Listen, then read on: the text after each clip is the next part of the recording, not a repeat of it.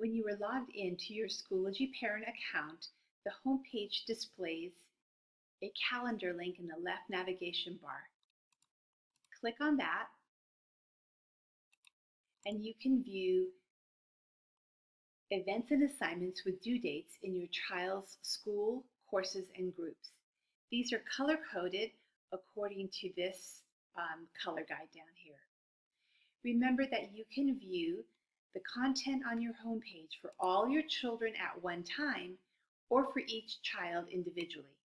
At times, you may want to see the Schoology activity of all your children at the same time, while at other times it may be more useful to view one child at a time.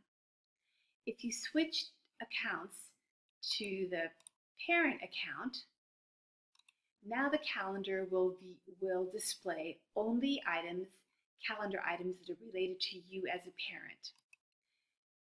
Place your cursor over any of the, of the titles on the calendar and you'll see the school, course, or group that the uh, item is associated with, along with the child's name if it's associated with a child. Clicking on the calendar item will open a little pop-up window with more information.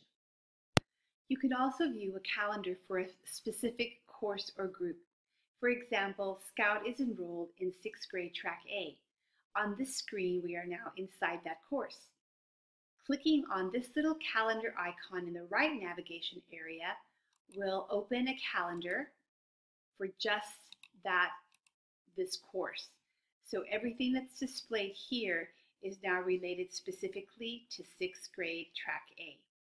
Remember, the calendar link located in the left navigation area compiles items, events, and assignments from all schools, courses, and groups in which your child is enrolled or involved, while the little calendar link in the right navigation area will open um, the, a calendar that shows just events for that course.